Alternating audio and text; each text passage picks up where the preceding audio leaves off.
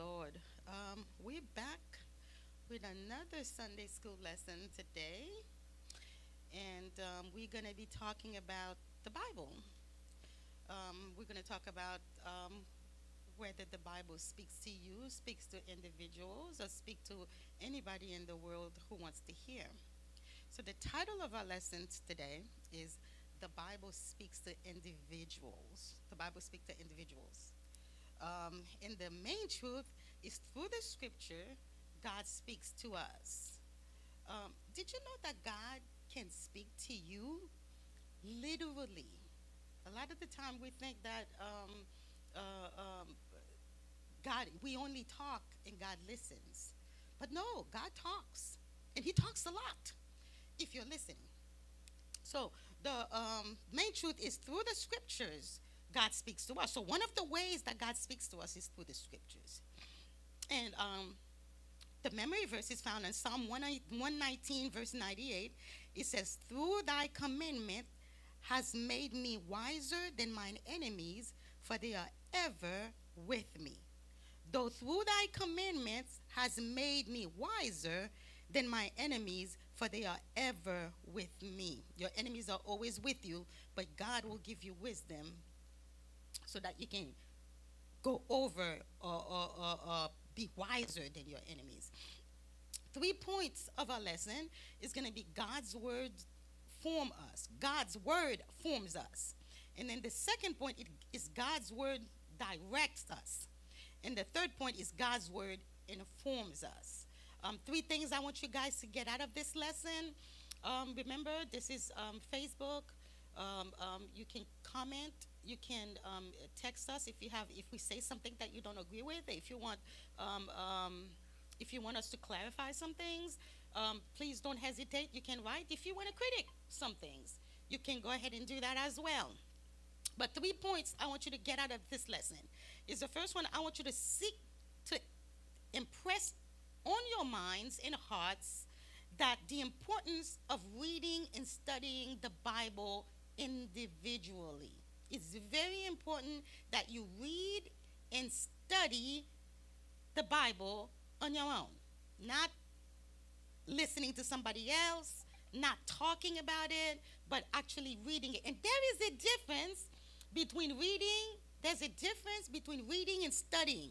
And I'll talk about that later. So that, that's the first point. We want to make sure that you learn, you seek to read and study the Bible. The second point that we want you to come uh, out of this is to um, to appreciate the many benefits that can come from reading and studying and obeying the Bible. There are benefits to reading the Bible, there are benefits to studying the Bible, and there are benefits to obeying the Bible. So I want you to appreciate that point. And then the third point I, I want you to come out of this lesson is to um, engage yourselves in a plan of daily Bible reading and make time to personally study and meditate on Holy Scripture. Um, I used to have that problem all the time. I used to say to myself, well, how do I know what to read when I start reading my Bible? Some people just, oh, they just open the Bible wherever it falls, that's what they read. Don't do that. It's better to have a plan, and there are various plans out there that can help you um, to do a daily reading as well as a daily study of the Bible. So um, the, the Bible reading today is found in Psalm 1 1 all the way through 11 and then we find and then we go up to 97 through 104 i'm not going to have time to read it but as we are going through this you can read it and you un- you'll understand where i'm coming from from within the bible. Um, okay we're going to start. Introduction to the lesson um, the very first thing I want to find out from you is Has God ever spoken to you through the Bible? Has there ever been a time when you were reading the Bible and something jumped at you? Something that you were not even thinking or not even considering? Um, I remember when I was a teenager, I used to be so worried about whether I was going. Because in my day, when I was growing up in the 80s, um, preachers were always talking about the, the coming of Jesus, the end of the world. Um, um, Jesus is coming back. And as a teenager, I used to be so concerned about whether if Jesus were to come right now, would I be going up to heaven with him? And it dominated my mind um, um, um, to the point that, I mean, I would, at night, I would cry, begging God to please let me know whether I was one. By the way, don't do that. Because the Bible says, for those who believe, He's giving the power to become. You don't need to worry about your salvation. Your salvation is secure as long as you believe in the Lord Jesus Christ and He becomes your Savior. But at the time, I didn't understand that. So um, I had issues with that and I had problems. And one day I was reading the Bible and I opened up the Bible and the verse literally jumped at me when I literally felt the words going in me. Okay, where I, uh, that Jesus says, "I died for you." And if there's if, if, if there was nobody else on this earth, I would die for you.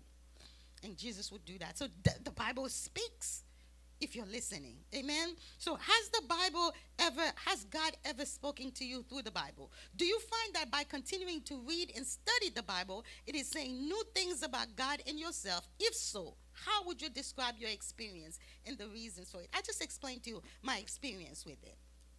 Experience with the Bible. As you read the Bible, the word will become alive. The word will become real. And then God will start speaking to you through the Bible. So try it before you say, oh, that can't happen. Try it if you've never had that experience. If you've had that experience, go ahead and comment. Let me know that you've had that experience, that God has spoken to you through the Bible. I know God has spoken to the world through the Bible. Remember the time when they, the world believed that the earth was flat? Well, the whole time God was saying the world was round. God was speaking. Amen. But we're just sometimes not listening. So, our first point today is God's word forms us. God's word forms us. And someone is be, it begins with the words, Blessed is the man. This introduction to the psalm identify it as a beatitude describing the blessedness of the person whose delight is in the law of the Lord, and in his law he meditates day and night. That's found in, in, in Psalm 1, verse 1. Blessed is the man. That's how it starts. That's how the verse starts. Blessed is the man who delights in the law of the Lord, and in his law he meditates day and night. To delight in the law or word of the Lord means to take pleasure in reading and understanding what it says. You know, it's so funny. I can read a, re- uh, a romance novel uh, uh, uh, uh, one of those fairy tale, and you thoroughly get into the book, and you you read it, and you I mean you eat it up, and then after you read it, when you finish the book, you go back home, you sit back, you lay back, and then you start thinking about the book. Or even a movie, you start thinking about what happened, especially if you enjoyed the book. But that's what God wants you to do with the Bible. God wants you to take that a lot of the times we sit back, we're trying to find something in the Bible rather than just enjoying the pleasure of reading the Bible, which is what we do in books. When we read a book, we don't look for the end of it. We don't look for what's going to happen next in the next page. No, we read the book and just allow the book to unfold before us and tell us what we're supposed to know. And then after we read the book, then we go back and meditate on it and we think on it. But that's what God wants you to do. To meditate uh, in the law of the Word of God comes from a Hebrew word that means to ponder the subject at hand by speaking to oneself in thought about it. Pondering usually means thinking about the significance of something quietly, soberly, and deeply. God wants you to read the Bible, go over, read it, and then after that, ponder on it. Why is this? Why was that said? How is it this way? You know, why would God say that? That's how you ponder on it. It says, Blessed is the man who delights in the law of the Lord. If you're reading the law of the Lord, rather than start thinking of God, oh, why is God telling me not to do this? Why is those do nots, do nots? No. One, ponder on it. Ponder on the word. Ponder on, on why would God say that? Think about the time that God said that. Think about how that thing would affect you if you didn't obey that command. Think about if you did obey that command, how would it affect? That's how you ponder on the word. Obviously, the purpose in meditating of the in the Word of God is to not only understand what it means, but how it may be applied to your own life. So, let's say, for example, you're reading the Bible, and then um, you go uh, um, to a section where the Bible says um, um, somebody did a certain thing, and this is what happened to them. So, what you do after you finish reading it, you read the story or you read the, the, the part of it, then you start thinking, gosh, um, if I lived in that day, how would that decision affect me? How would I have reacted if I was in that person's place? You know, for example, I think about Abraham um, um, and, um, and, um, and Sarah, and I think about, um, gosh, her name is not coming to my head right now, and and, and the, the concubine that gave birth. And I'm like, why? She was a young girl. She didn't have anything to do with this. You know, um, why would Sarah, a woman of God, want to choose a young girl, give her to Abraham? She has a baby and now she has to suffer for it. See, that's how, then I put myself in her place. If I was in her place, what would happen? How would I feel? Would I hate her? Would I not want to talk to God about it? Would I want to take my kid just like she did and run away? You know, or would I stay, stay put and, and, and obey what was told to me to do so that I can participate in? So that's how you ponder and you meditate. Amen. We receive blessing from God by understanding and applying His word. The word produces within us a blessing, a depth of good that stabilizes our lives, a, a dignity the word cannot comprehend in a constant flow of grace. That's what happens. When you when you meditate, when you read the word of God, first of all, when you read the word of God, you learn how God thinks. You can see the pattern. God has. So you you can see how God thinks. You can see uh, uh, um, how God would react to certain things. You can see why God does what he does. If you really want to know who God is, for those of you who are skeptical about whether there is a God, the best thing to do is to read the Bible. And then you learn about who God is, whether he's real or not. If, it, if God is real enough, you don't have to fight his battles for him. He can fight his own battles. Go ahead and read the Bible and prove him wrong. See where you come from. Amen. So that's what God does. That, that, that the word will produce a blessing, a depth that would stabilize your life. And it will give you a constant flow of grace. Because once you start understanding God's pattern, then you can live according to that pattern. Blessed of God is the person who chooses to go in the way of life taught by God's word. The person is also blessed by what he or she chooses not to do, thus avoiding the consequences that come from intentional sinning. This person chooses not to follow the, the, the counsel the evil advice of the ungodly. This person chooses not to take stand with stand sinners and not to be allied with those who scorn truth and goodness. The life blessed, favored by God is informed, guided, and nurtured by the word of God. A life nourished by the word is like a tree that thrives and is fruitful because it is planted by a stream of water. Like the tree, the life of one nourished by the word brings forth spiritual fruit in season and does not wither away, but prospers. In this imperfect world cursed by human sinfulness, the best life we can possibly have is found in living by the word of God. That's what the verse says. It says, The person who reads the word, who remains in the word, who does not take part with sinners, who doesn't uh, ally itself with evildoers, um, um, um, th- this person will be blessed. This person will be blessed. Amen. So that was words. The word of God informs us. It forms us. It makes us who we are. As you read the word of God, the word of God will form and shape you into what God wants you to be. Not what the world wants you to be, but what God wants you to be. And while you're at it, not only will God form you, but God will reveal himself to you. He will let you know who he is what it, what, what it is that's that, that, that whoever created you, whoever put you on this earth, you need to know who He is. Whether He's my God or some other God. If you have another God that created you, that made you who, don't you want to know who He is? Don't you know? Don't you want to know whether it's true or not? Well, absolutely. But once you get in the Word, what the Word will do is form you, shape you into who you are supposed to be in God.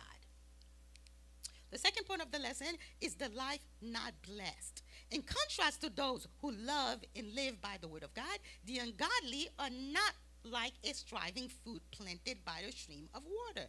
The ungodly strive in vain to make a life for themselves without God or His word. But in the end, such a life has nothing in it of lasting value, being like shaft, worth, worthless husk, and trash from grain blown away by the wind.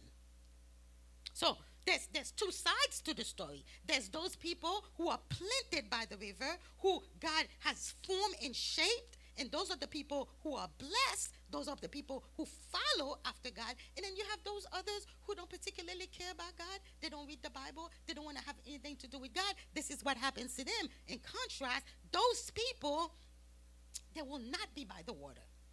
Those people will be worthless. In other words, they'll be like shafts. They'll be like dust blown by the wind, and no one remembers them.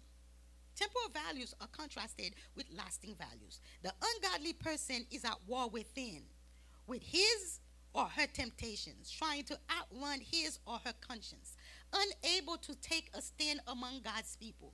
His reputation will not be established.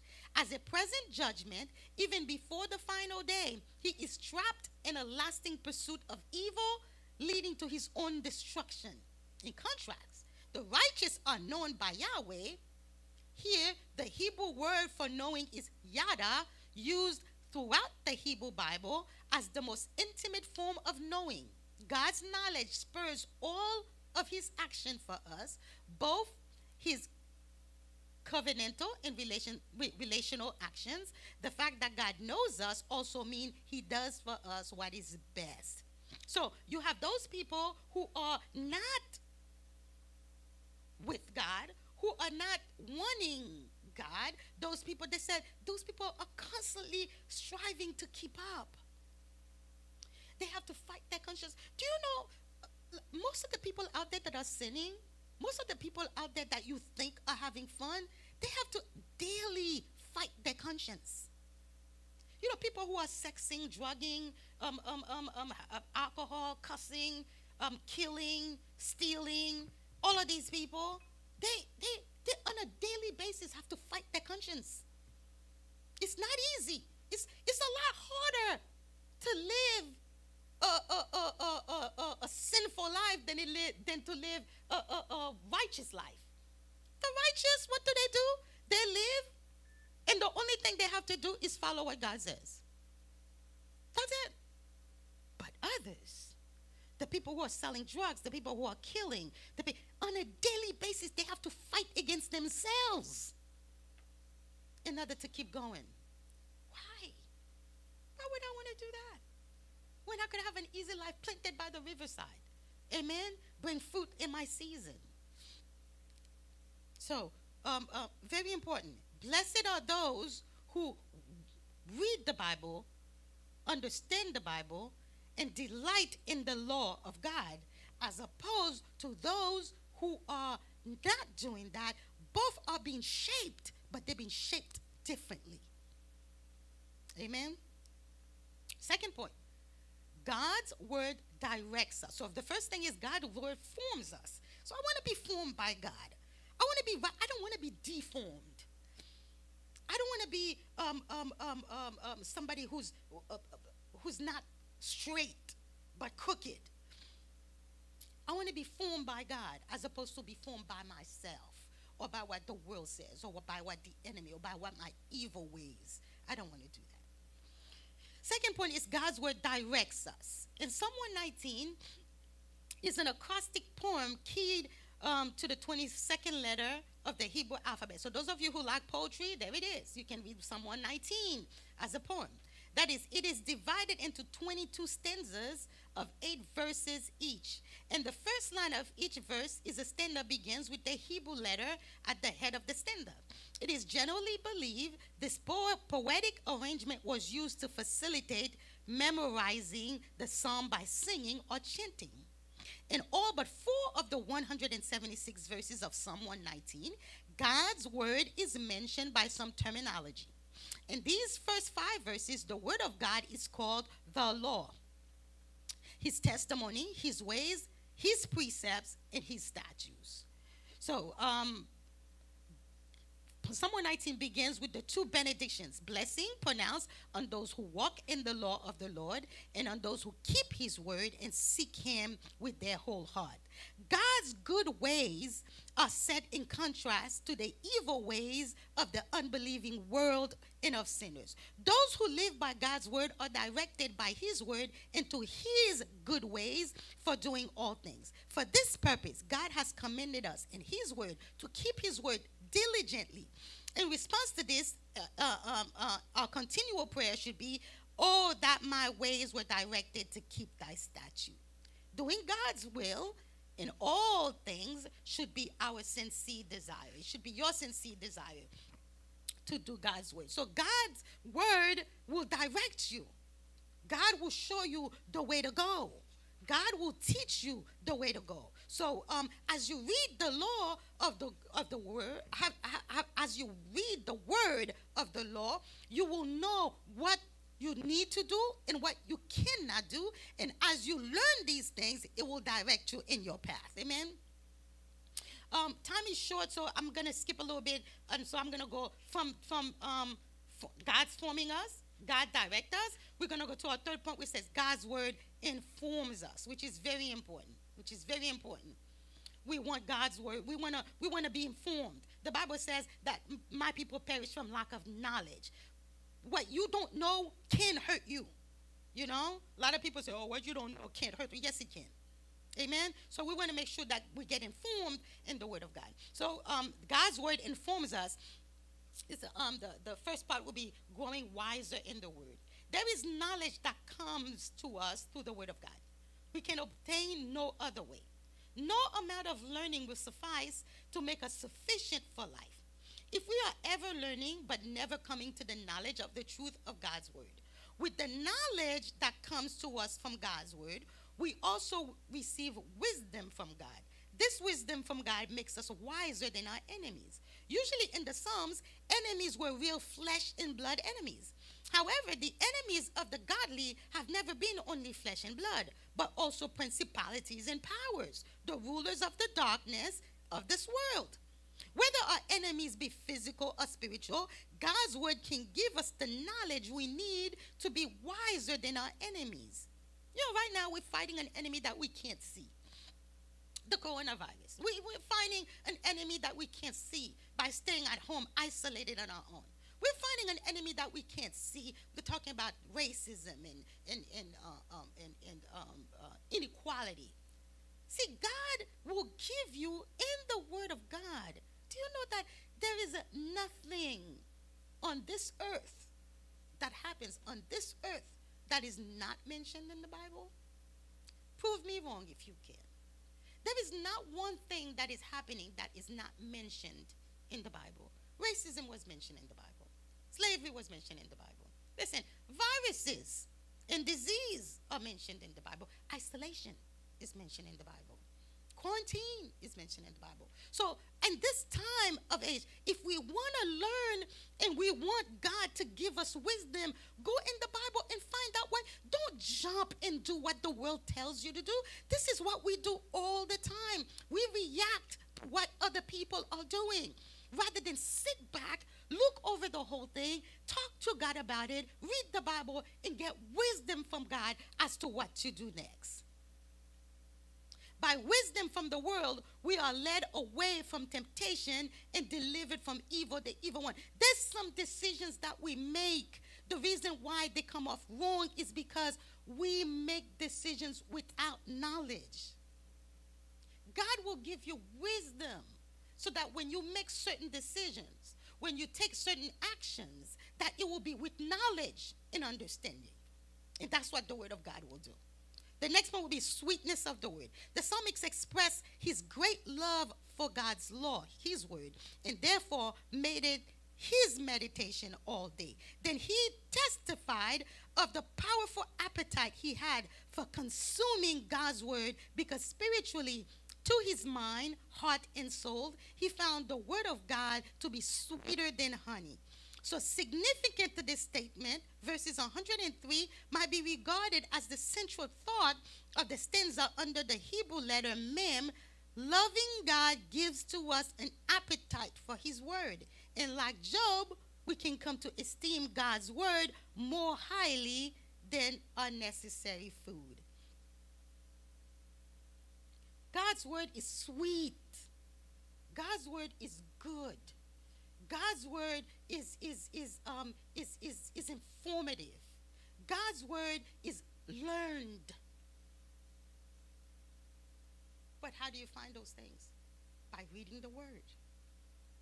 Read it for yourself. Read it for yourself. Learn the wisdom that you can get from the man, the man who created the heavens and the earth. The Bible calls him the Word. His name is Jesus. He is the Word. If you want to know how the world was created, then by all means, read the person who created it. If you want to have all knowledge, you know, most of the scientists in the olden days, most of the psychi- psychologists, most of the people, all the, the, the, the, the, the painters and all the all of those people who discovered and made big discoveries in, in, in years and years and years ago, all of them found them in the Bible. All of them. Every single thing that was discovered on earth was found in the Bible. Because the Bible has wisdom. The Bible has knowledge. The Bible has understanding. The, Bi- the Word of God, the truth of God, is the Bible. And that's how you can learn. Amen. So I'm going to read um, the response to the word. It says, highly regarded American statesman Daniel Webster was born in 1782 and died in 1852 said, If there is anything in my thoughts or style to commend, the credit is due to my parents for instilling in me an early love of the scriptures. If we abide by the principles taught in the Bible, our country will go on prospering and to prosper. But if we and our posterity neglect its instructions and authority, no man can tell how sudden a, a catastrophe may overwhelm us and bury all our glory in profound obscurity. This is a warning much needed in America today. We see it every day because you know why? One of the reasons why all the stuff is happening today, 2020, is because we have led ourselves away from the Word of God. We've led ourselves from the knowledge of God. We led ourselves away from the Bible. So now we have nothing to go by. Amen. We have not, and this is a warning of somebody who was born in 1782. 1782. So take the time, read the Bible. Read the Bible. Don't read it for, for, for studies. Don't read it to argue. Don't read it to prove any point. Just read it and see how God speaks to you. Amen. Send your comments. Let us know what you think.